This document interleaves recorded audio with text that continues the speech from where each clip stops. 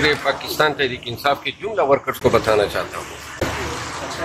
कि नौ मई से लेकर 11 अप्रैल 2024 तक मैंने एहतजाज की क्यादत की और कामयाबी से हमकिनार किया। ऐसे किसी एहतजाज का मैं हिस्सा नहीं हूँगा जो जिसकी ज़िम्मेदारी मुझे खान साहब तफीज नहीं करेंगे। असलकुम नाजरीन इकराम ये वीडियो मुलाजा कीजिए। न ऐसे एहतजाज मुझसे होते हैं एहतजाज होगा एक होगा और मंतकी अंजाम तक पहुँचाया जाएगा। और अगर ये मुझे साइडलाइन रखने की पॉलिसी अगर ये जारी रहेगी तो फिर जो है मैं ऐसे एहतजाजों का हिस्सा नहीं बनूँगा। सर, सर जैसे कहा जा रहा है कि रखने की असल पॉलिसी में कौन कौन लोग शामिल हैं? वही लोग हैं जिन्होंने ये हमारे बंदे इनके हवाले किए और आज भी हमारे सफ़ों में मौजूद है। सर ये फिर फॉरवर्ड ब्लॉक की जो बातें आ रही हैं फॉरवर्ड ब्लॉक बनने जा रहे हैं क्या? आपने वो जो अली अमीन गंडापुर ने बात की कि किस तरह से वो केपी के हाउस से पहुँचे केपी के तक। देखिए वो किस्सा पुराना हो गया है। मैं देखिए एहतजाजों में न मुझे दावत दी जाती है। पीटीआई के वर्कर मुझसे पूछते हैं ना कि आप बाहर निकले। तो मेरे तो पाँव ही काटे जा रहे हैं। किस तरह बाहर निकलूं? जब मैं निकलता था जब ये लोग नहीं थे तो या खान था, या मैं था, या फिर अवाम थे।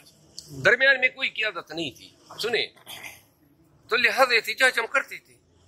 अब जब से ये आ गए हैं, इनको खदशा ये है कि शायद इन एहतजाजों से मैं कहीं और अरूज पा लूँगा और अरूज रखो अपने पास। एहतजाज की जिम्मेदारियाँ तो मांग रहे हैं, कोई वजारतें तो नहीं मांग रहे हैं, कोई कमेटियाँ तो नहीं मांग रहे हैं। कमेटियाँ आपकी, वजारतें आपकी, सीटें आप दे रहे हैं, भाई वो काम दे दें। ये खान के छः महीने हमने तय किए अप्रैल से लेकर आज तक। कब के खान को हम रिहा कर चुके होते और एहतजाज संजीदगी से हमने किया ही नहीं है। ये क्या एहतजाज हुआ? एहतजाज ये है कि पूरी दुनिया जो काम पे और देख लें, ये होता है एहतजाज। करोड़ों लोग हैं आपके पास। कैसे वर्कर हैं हमारे पास? मार खाते हैं, गोलियों और बंदूकों के आगे आते हैं। और डी चौक में अगर एहतजाज था, सत्रह हज़ार अली अमीन खान के मसाइल पेश आ गए तो और क्या आदत निकल आ जाती ना? किस मुँह से जाके ये यहाँ मीडिया के सामने खड़े हो के खान की रिहाई की बात करते हैं कम वक्त तो किधर मर गए थे? बैठ जाते ना वर्करों के साथ। अच्छा साहब जो सलमान अकम राजा ने प्रेस टॉक की, उन्होंने कहा कि इतनी शेलिंग हो रही थी कि वहाँ पे एक या आधा या डेढ़ मिनट से ज़्यादा कोई पॉसिबल नहीं था कि खड़ा हो सकता। और यही वजह थी कि वहाँ से लोग चले गए और उन्होंने मिसाल भी दी गंडापुर साहब की पॉसिबल नहीं था। अलीमा खान साहब वहाँ पर तीस सेकंड ज़्यादा नहीं रुकी। तो कैसे ये लोग वहाँ पर खड़े हो सकते थे आपके ख्याल में अगर नहीं लोग तो खड़े हुए ना ये सत्तर हज़ार लोगों ने चौबीस घंटे से ज़्यादा रियासती तशद बर्दाश्त किया। ये तो नहीं है ना कि आँसू गैस के सामने फिर कोई कड़ा नहीं हो सकता। जिगरा हो, मुसम्मम इरादा हो अजम समीम हो तो फिर कोई चीज़ मुमकिन नहीं है। देखिए, नीयत ये होनी चाहिए कि खान को रिया कराना है, चाहे दुनिया इधर की उधर हो जाए। तो लोग आए और डी चौक में बैठे, खुदा की कसम, निज़ाम का दड़न तख्ता बच जाएगा। उस दिन सत्तर हज़ार लोग आए थे, इनकी काम पे टांग नहीं रही थी। क्या हालत थी उनकी? तो लिहाजा, पाकिस्तानी जब तक निकलेंगे नहीं। और ऐसे निकलें और इस पे बैठे डी चौक पे, ज़्यादा से ज़्यादा ये एक लेकिन अगर आवाम एक लाख से बढ़ गए फिर ये इस पे शेल भी नहीं मार सकते। अभी साहब जो वर्कर हैं वो किसी भी लीडरशिप पे यकीन करने के लिए तैयार नहीं है। तो क्या फिर वर्कर खुद से निकलेंगे? नहीं मैंने कह दिया ना। मैंने कह दिया फिर कहता हूँ। ये सोशल मीडिया पे ये वो रजील है एक गदार कौम क्या नाम है वो? हाँ वो आदिल राजा और एक और खबीस है हैदर मेदी पाकिस्तान तहरीक इंसाफ के लोग जैसे जब तक इनको दुदकारेंगे नहीं, किस तरीके से ये लोग अपनी और सारा झूठ। और आज भी पता नहीं कहाँ से ये बोल रहा था। सारा सर झूठ बोलते हैं। जब तक पीटीआई के वर्कर क्यादत की बात नहीं मानेंगे, ये कौन लोग हैं? अली अमीन खान के खिलाफ ये इल्ज़ाम तराशी कर रहे हैं। शाह महमूद कुरैशी के खिलाफ ये इल्ज़ाम तराशी कर रहे हैं। शानदाना गुलदार असद कैसर, मुझ समेत और मेरे सुकूर समेत भाई तुम कहाँ से हो? भागे हो ना, मर्द के बच्चे इधर आ जाओ। तुम्हें पता चले कि दूध किस भाव बिकता है। वहाँ से बैठ के जो है और कुछ खातन भी उनके साथ मिल गई है।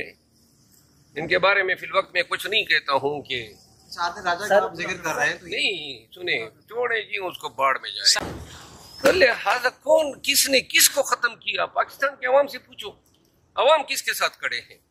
ये आया खत्म शुद्ध। इसकी बातों में रबत देके और ये जो जबान इस्तेमाल कर रहे हैं खान के साथ खिलाफ वीडियाई के खिलाफ अली अमीन खान के खिलाफ उमर अयूब खान के खिलाफ। और लिहाजा मैंने उस दिन भी इनको कहा था अभी मैं मुझे इंतज़ार होगा कि जरा थोड़ा जबान खोले तो इंशाल्लाह इसका सही सर्जरी करेंगे इसके बयान का। मेरा बड़ा मूड है इसको जवाब देने का इसको फिक्स करने का। और ये बयान दें इंशाल्लाह ये गुब्बारे से सारी हवा निकालूँगा। अच्छा साहब साहब आपने कहा कि तरीके इंसाफ के कुछ लोग करोड़ों में अरबों में बिके उनमें क्या जहन कुरैशी भी शामिल है बिकने वालों में? जो चीज़ लोगों को पता नहीं है ये बिकवाने के अमल में ऐसे लोग भी हैं जो अभी तक हमारे साथ हैं। सर वो असम्बली में आए थे। बने हुए हैं। सुने ना यार क्यों? एक बात तो मुकम्मल होने दो ना। एक सवाल होता है ऊपर से दूसरा सवाल करते हो। जिन लोगों ने बिकवाया है असल गंदे वो हैं। और अभी तक लीडर बने हुए हैं। वो कौन ये सा? मरवत साहब ये तो आप इस तरह कह रहे हैं कि जो इस वक्त क्यादत है ग्राउंड पे उन्होंने खुद लोग जो है शाम हवाले किए नहीं ये क्यादत देखिए क्यादत जो अली अमीन अपना अली अमीन खान है गौर है है इनकी नीयतों पे मुझे कोई शक नहीं है। ठीक है ना? लेकिन अभी भी अ, ऐसे लोग हैं जिन्होंने इस फेल में सहूलत करी उनका नाम अगर थोड़ा सा कल आप लोग लड़ाए ना तो थाने बाने आपको मिल जाएँगे। सर सर सिर्फ़ सुने ना ऑलरेडी मैं भुगत चुका हूँ। वैसे भी इन्होंने जाके मुझे तो पार्टी से ही निकलवा दिया था। नाजरीन इकराम ये वीडियो तो आपने देख ली। नाजरीन, इसके अलावा पाकिस्तान तहरीक इंसाफ के बानी इमरान खान साहब की मुलाकातों पर गैर मुआयना मुद्दत के लिए फिर एक बार पाबंदी लगा दी गई। नाजरीन, ये बड़ी तशवीशनाक बात है। इसी पर कासिम सूरी साहब कहते हैं कि इमरान खान साहब से मुलाकातों पर सानी पाबंदी आइनी तरमीम और लोटों से भी ज़्यादा इंतहाई तशवीशनाक खबर है। नाजरीन, ये कासिम सूरी साहब कह रहे हैं। इस पर अगर बर वक्त रद्द अमल, एहतजाज और पाबंदी हटाने के लिए फौरी तौर पर संजीदा कोशिशें ना की गई तो तमाम अहदे, कुर्सियाँ और तकरीर बेकार हैं। इमरान खान की हिफाजत और रहाई सबसे ज़्यादा अहम है। नाजरीन, पहले तो कुछ वक्त के लिए खान साहब की मुलाकातों पर पाबंदी लगाई गई थी, मगर अब जो है गैर मुआयना मुद्दत के लिए पाबंदी लगा दी गई है। ये बड़ी तशवीशनाक बात है। इस पर पाकिस्तानी अवाम को चाहिए जो पाकिस्तान तहरीक इंसाफ के वर्कर्स सपोर्टर्स उनको चाहिए कि भरपूर एहतजाज करें। ये नहीं कि थोड़ी सी तादाद में अवाम एहतजाज करें, जिस तरह से जो लास्ट टाइम डी चौक में अवाम पहुँची, उस तरह के एहतजाज की ज़रूरत है। लाखों की तादाद में जब तक पाकिस्तानी नहीं निकलेंगे, तब तक मुल्क बेहतरी की तरफ़ नहीं जा सकता। नाजरीन, इस बारे में आप क्या राय रखते हैं? अपनी राय का इजहार कमेंट्स में कीजिए। मुझे दें इजाज़त। अगली वीडियो में आपसे मिलेंगे। तब तक के लिए अल्लाह हाफिज।